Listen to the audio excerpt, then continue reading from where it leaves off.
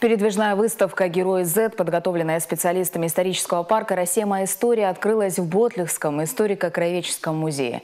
Экспозиция посвящена тем, кто удостоился высокого звания Героя России.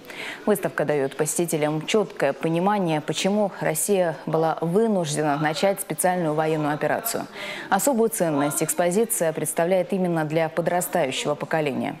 Здесь, на территории Ботлевского района, был дан отпор международному терроризму, который спонсировался, финансировался с заинтересованных стран, стран Запада.